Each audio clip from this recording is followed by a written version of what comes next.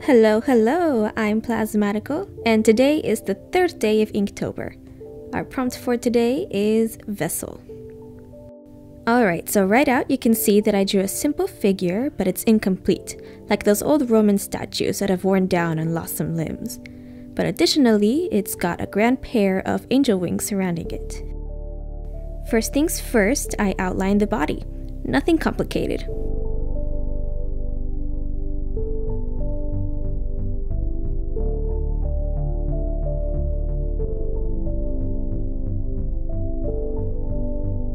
And to continue, I get the main backing of all four wings in place.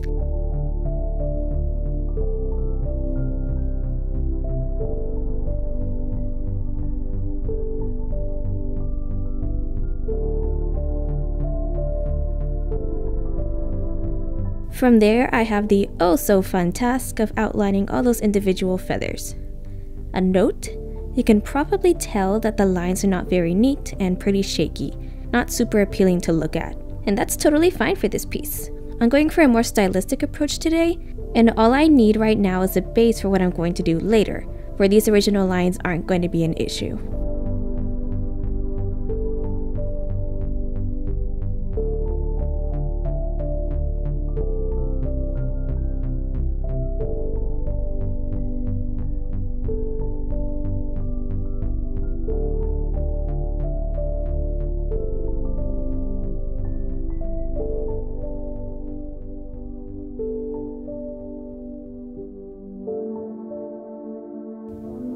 So it took a while, but all those feathers are done and now I can get to the fun part, where I'll really make the piece pop.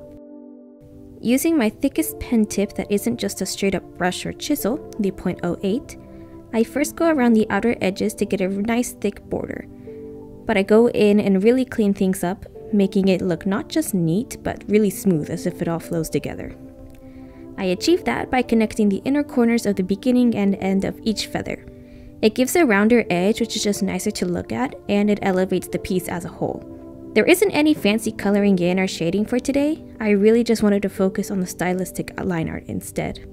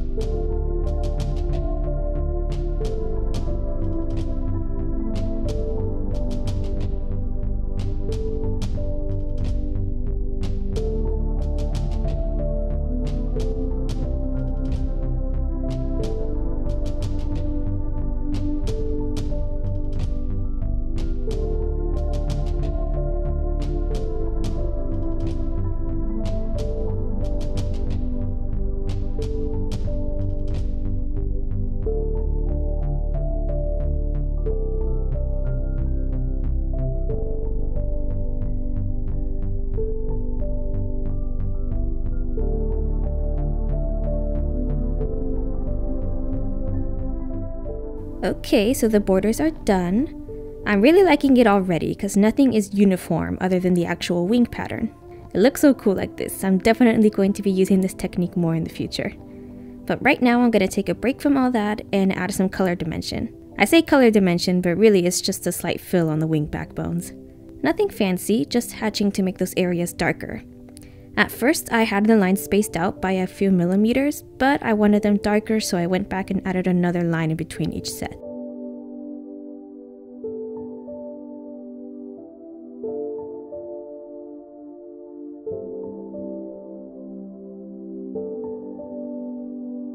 From there, it was just a matter of applying the same method as earlier to the rest of the wings, well the bottom edges of each layer of feathers anyway.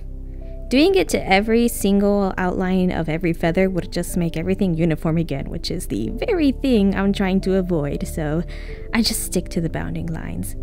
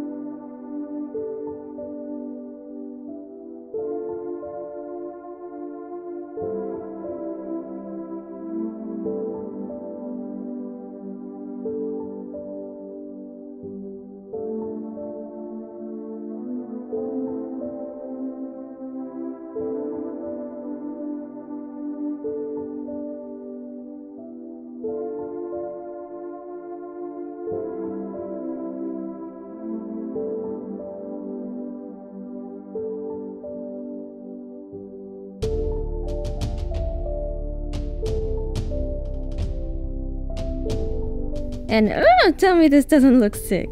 I love how today's piece came out, for real. I didn't expect to have so much success with the new lining method, but ooh, it totally works out. Alright, so that's it for today. The prompt of Vessel really shines here with the angel wings sort of overpowering the figure. Hope you guys liked it, and I'll see you tomorrow. Bye bye.